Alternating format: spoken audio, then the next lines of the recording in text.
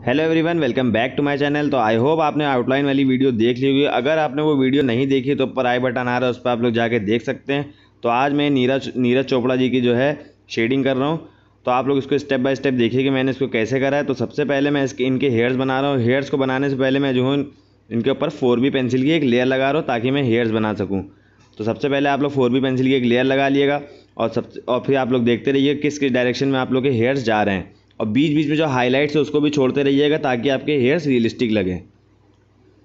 तो मैं सबसे पहले इसको जो है फोर बी पेंसिल से पूरे इसके जितने भी हेयर्स हैं, उनको शेड कर लूँगा, फिर उसके बाद मैं जो हूँ टेन बी पेंसिल को यूज़ करूँगा। अब मैं टेन बी पेंसिल को यूज़ कर रहा हूँ और देख रहा हूँ कहाँ कहाँ पर कर्व्स हैं बालों में, और आप लोग देख रहे होंगे ऊपर से मैं हार्ड स्ट्रोक मार रहा हूँ और नीचे से, ताकि बीच में हाईलाइट का एरिया छूट जाए। तो ये एक टेक्निक होती है जिससे आप लोग जो है हाईलाइट बिना टॉम्बो मोनोजीरे इरेजर के भी बना सकते हैं, और इससे काफ़ी रियलिस्टिक भी लगता है। इसके बाद आप लोग ब्लेंड कर देंगे तो आप लोग को लगेगा कि देखिए एकदम हेयर के स्ट्रोक्स आपको दिखने लगेंगे। अब नीचे भी हम लोग ऐसे ही करेंगे बीच बीच में जो है हाईलाइट छोड़ के बनाएँगे। और नीचे जहाँ जहाँ पे हेयर्स हैं वो लोग आप देख के जो है रेफरेंस इमेज को बनाते रहिएगा, क्योंकि इसमें मेडल वगैरह भी हो तो आपको थोड़ा दिक्कत होगी बनाने में। अब जो इनकी आइस के ऊपर हेयर्स आ रहे हैं उसको भी बना लेते हैं। उसको बनाने के लिए मैं four B mechanical pencil use कर रहा हूँ, क्योंकि वहाँ पे थोड़े पतले पतले हेयर्स हैं। अब मैं फिर से ten B mechanical pencil use कर रहा हूँ और जिस डायरेक्शन में बाल जा रहे हैं, उस डायरेक्शन में हाईलाइट्स का एरिया छोड़ते हुए मैं बना रहा हूँ। तो हाईलाइट्स का एरिया एकदम नहीं छोड़ देना आप लोग को, वहाँ पे जो है थोड़ा सा हल्की पेंसिल आप लोग को चला देनी है। मैं फोर बी पेंसिल से कर रहा हूँ, आप लोग टेन बी से भी कर सकते हैं। अब देखिए हाईलाइट देने के बाद मैं हल्के से उस पर शेड मार दे रहा हूँ। अब ये ब्लेंड करने के बाद सारी स्ट्रोक्स आपको दिखने लगेंगे। लेकिन आप लोग जब इसको बना लिएगा, उसके बाद भी आप लोग देखिएगा कि कहाँ कहाँ पर आप लोग को जो है छोड़ दिया आप लोग ने। अब आप लोगों ने देखा होगा कि मैंने फोर हेड के ऊपर ब्रश चला दिया और जो हेयर्स का शेड था उसी की मदद से जो है मैंने फोर हेड को भी शेड कर दिया है। अब मैं इनकी आईब्रोज़ बनाऊँगा। रियलिस्टिक आईब्रोज़ कैसे बनाते हैं उसके ऊपर मैं वीडियो बना चुका हूँ। ऊपर आई बटन आ रहा है, उस पर आप लोग जाके देख सकते हैं बाद में। तो मैं दोनों तरफ़ की पहले आईब्रोज़ बना लूँगा, फिर एक एक करके आइज़ बनाऊँगा। तो अब सबसे पहले मैं इसकी लेफ़्ट आइज़ बनाऊँगा। लेफ़्ट आई को बनाते टाइम सबसे पहले मैं जितने भी डार्क एरिया उनको डार्क कर लूँगा फोर बी पेंसिल की मदद से। फिर अंदर जो है हाईलाइट्स वगैरह आप लोग ज़रूर छोड़िएगा, उसी से आपकी जो है आइज़ आपकी अच्छी लगेगी। और उसके बाद जो नीचे आगे, ऊपर नीचे शेड्स हैं, उसको कर दूँगा मैं।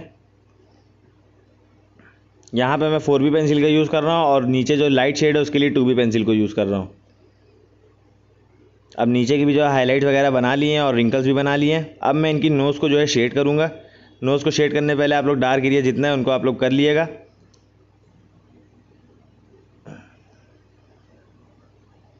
यहाँ पे मैं जितने भी नॉस्ट्रिल्स वगैरह डार्क एरिया उनको मैं बना लूँगा फोर बी पेंसिल की मदद से। अब इसके बाद जैसे कि मैंने आप लोग को पिछली वीडियो में बताया था जहाँ जहाँ पे आप लोग को डार्क एरिया दिखे वहाँ टू बी पेंसिल या थोड़ी डार्क पेंसिल जैसे भी आप लोग स्केच की पेंसिल यूज़ कर रहे हैं उस हिसाब से आप लोग जो है शेड दे के हाईलाइट्स भी दे दें। हाईलाइट देना बहुत ही ज़रूरी है उसी से आपको लग, पता चलता है कि आपकी नोज़ थ्री है। तो अब मैं आइस के ऊपर भी शेड दे दिया राइट वाली, अब उसको भी मैं बना लेता हूँ। उसके लिए भी मैं जो हूँ डार्क पेंसिल से पहले जितना भी एरिया डार्क है, उसको डार्क कर लूँगा, उसके बाद अंदर के लाइट शेड्स करूँगा।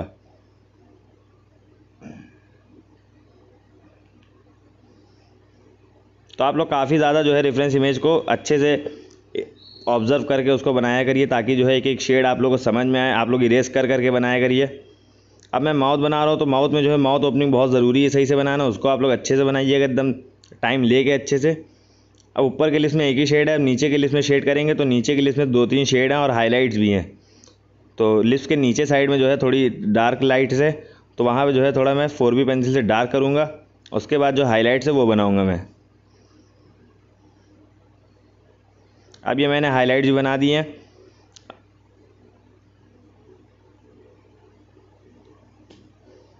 अब जो लिप्स वगैरह के बगल में स्माइल जा रही थी, वो भी मैंने बना दिया अब मैं पूरे फेस को जो है एच बी पेंसिल की मदद से शेड कर दूँगा एक लेयर में। ये मैं एच बी पेंसिल को यूज़ कर रहा हूँ और जितने भी शेड्स हैं पूरे फेस में मैं कर दूँगा, उसके बाद मैं इसको टिश्यू पेपर से ब्लेंड करूँगा। अब मैं टिश्यू पेपर से इसको उंगली में रोल करके ब्लेंड कर रहा हूँ। अब इसके बाद मैं टू बी पेंसिल यूज़ करूँगा और आप लोग जो है पिक्चर को अच्छे से ऑब्ज़र्व करिएगा और देखिए कहाँ कहाँ पे डार्क है तो वहाँ वहाँ पे आप लोग जो है टू बी पेंसिल से शेड्स दे दिएगा अब आप लोग इनकी मुस्टैच देख रहे होंगे तो वहाँ पे एकदम हल्का सा शेव है, वहाँ पे छोटे छोटे से हेयर्स दिख रहे होंगे। तो उसको भी मैं जो है थोड़ा थोड़ा बना लूँगा। अब जहाँ जहाँ पे शेड आपको दिखते जा रहे हैं, वहाँ बनाते जाइए और अपने मेकअप ब्रश या फिर वाटर कलर ब्रश से जो है इसको शेड करते जाइए। मैं यहाँ पे फिंगर यूज़ कर रहा हूँ थोड़ी थोड़ी जगह पे आप लोग ना यूज़ करिएगा। अब जहाँ जहाँ पे फेस पे आप लोग को हाईलाइट दिख रही है, उससे हाईलाइट कर लिए नीडेबल इरेजर आप लोग यूज़ कर सकते हैं या टॉम्बो यूज़ कर सकते हैं। टॉम्बो यूज़ करने से एक नुकसान होता है कि आपके जो है ज़्यादा ज़्यादा इरेज हो जाता है, इसलिए जो है वहाँ पर एकदम वाइट वाइट एरिया लगने लगता है। अब मैं नेक को शेड कर रहा हूँ नेक में भी जो है डबल शेडेड है राइट साइड पर डार्क शेड है और लेफ़्ट साइड पर थोड़ा लाइट शेड है। तो पहले मैं एचबी से पूरी एक लेयर दे दूँगा, फिर उसके बाद टू बी पेंसिल है, जहाँ जहाँ डार्क है, उसको मैं डार्क कर लूँगा।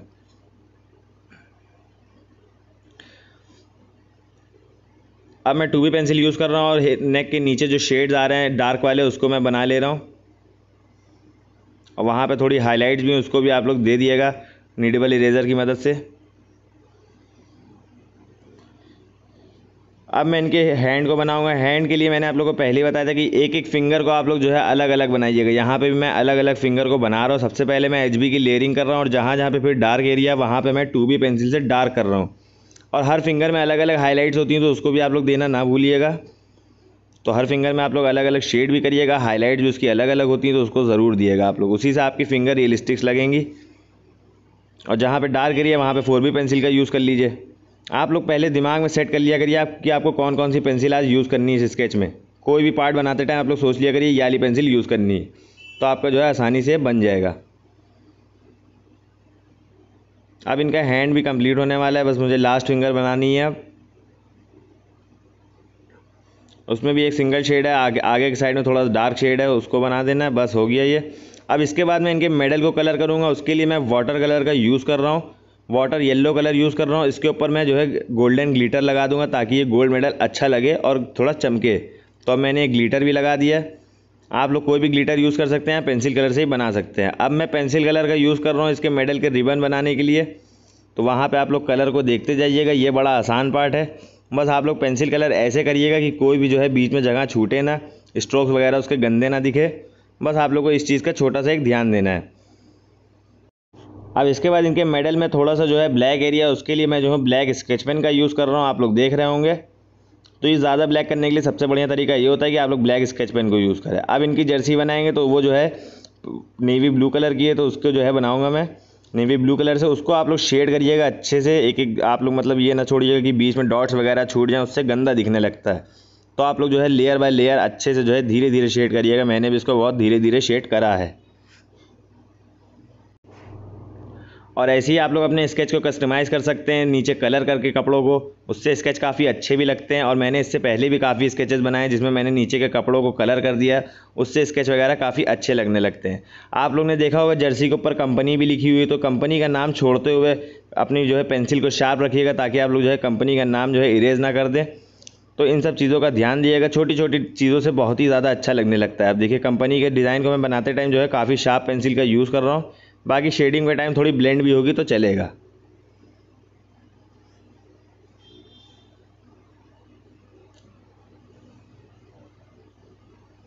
अब लेफ़्ट साइड में मैंने पूरा शेड कर लिया। अब इसके बाद मैं जो हूँ पेंसिल लूँगा अपनी और जो मेडल के ऊपर डिज़ाइन वगैरह बना हुआ है, उसको मैं बनाऊँगा। उसके लिए मैं four B mechanical pencil use कर रहा हूँ। आप लोग वुडन पेंसिल भी शार्प करके अच्छे से यूज़ कर सकते अब मैंने मेडल का डिज़ाइन ही बना दिया तो इसके बाद मैं जो है, इसकी चेन बनाऊँगा और जहाँ जहाँ पे आप लोग छोटी छोटी सी चीज़ें देख रहे हैं, वहाँ वहाँ पे जो है इसको बना दिएगा, पेंसिल की मदद से। और रिबन के पास भी आप लोग देख सकते हैं, मैंने थोड़ा सा एरिया छोड़ दिया था, उसको भी मैं शेड कर दूँगा। अब पेंसिल से मैं इनकी चेन बनाऊँगा, चेन जो है ग्रे कलर की है तो उसको बना दिया आप लोग पेंसिल से। अब मैं ब्लैक पेंसिल कलर को यूज़ करूँगा और आप लोग जर्सी में देख रहे होंगे थोड़ा थोड़ा ब्लैक एरिया तो उसको करने के लिए मैं ब्लैक पेंसिल कलर यूज़ करूँगा और उसको ऑब्ज़र्व करके जहाँ जहाँ पे ब्लैक एरिया मुझे दिख रहा है, उसको मैं कर दूँगा। आप लोग भी जो है ऐसी लेयरिंग कर दिया करिए ताकि जो है जर्सी वगैरह आपकी रियलिस्टिक लगे। अब मैं राइट साइड की तरफ़ कलर कर रहा हूँ और यहाँ पर भी जो है सेम वही प्रोसीजर रखूँगा। पहले मैं ब्लू नेवी ब्लू कलर कर दूँगा पूरे में, उसके बाद जो है आप लोग नीचे देख रहे होंगे, एक डिज़ाइन ही बना हुआ है जिसपे जो है इंडिया का फ्लैग बना हुआ है, छोटा सा। तो उसको भी बना देंगे। अब यहाँ पे मैं फिर से ब्लैक पेंसिल कलर यूज़ कर रहा हूँ और जहाँ जहाँ पे जो है डार्क एरिया है जर्सी का वहाँ वहाँ पे मैं उसको डार्क कर लूँगा। तो अब इसके बाद मैं नीचे का जो है ब्रोज बनाऊँगा, जो कि जिस पे इंडिया बना हुआ है।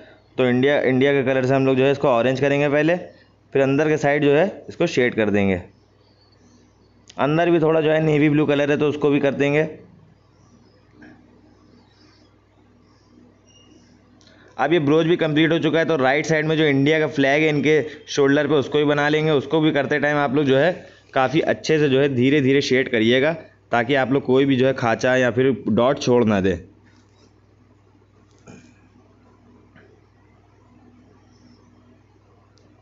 अब ये फ्लैग भी पूरी तरीके से कंप्लीट हो चुका है। अब इसके बाद जो है मैं वाइट पेंसिल का यूज़ करूँगा ताकि जितने भी जर्सी की एरिया हैं उसको मैं ब्लेंड कर सकूँ। तो ये वाइट पेंसिल काफ़ी ज़्यादा काम की होती है। आप लोग को इसको फेंकना नहीं है। पहले हम लोग इसको फेंक देते थे बचपन में, लेकिन अब ये समझ में आता है कि इससे जो है बहुत अच्छी ब्लेंडिंग हो जाती है। तो आप लोग जो इससे ब्लेंडिंग कर सकते हैं और जहाँ जहाँ पे अगर कुछ डॉट छूट भी गए आपसे तो उसको आप लोग कर सकते हैं। अब मैंने जहाँ बाहर का थोड़ा एरिया थोड़ा गंदा हो गया था तो उसको भी मैंने इरेज कर लिया और ये स्केच पूरी तरीके से कंप्लीट हो चुका है। लेकिन इसके बाद भी आप लोग देखिएगा कहाँ कहाँ पे कमी हो तो उसको आप लोग फिर से कर दिएगा। यहाँ पे मैं जो हूँ, इनके नेक के नीचे जो है थोड़ी कमी लग रही है तो उसको मैं दोबारा से कर रहा हूँ। तो अब ये स्केच पूरी तरीके से कंप्लीट हो चुका है। तो आज की वीडियो में बस इतना ही। आई होप आपको समझ आएगा कि मैंने इसको कैसे बनाया। आप लोग भी इसको इजीली बना सकते हैं। बस आप लोग को जितने भी मैंने स्टेप्स बताए, उसको आप लोग फॉलो करते जाइए और आसानी से आप लोग बना लेंगे। और मैंने जो ये फ़ोटो बनाई है, इसका मैंने डिस्क्रिप्शन में लिंक डाल दिया ताकि आप लोग डाउनलोड कर सकें। और मैंने अपने इंस्टाग्राम का भी लिंक डाल दिया ताकि आप लोग मुझे फॉलो कर सके रिसेंट अपडेट्स के लिए। तो अगर ये वीडियो आपको इन्फॉर्मेटिव लगे तो मेरे चैनल को सब्सक्राइब कीजिए वीडियो को लाइक कीजिए और शेयर कीजिए। मिलते हैं आपसे नेक्स्ट वीडियो में। तब तक के लिए आप लोग प्रैक्टिस करते रहिए।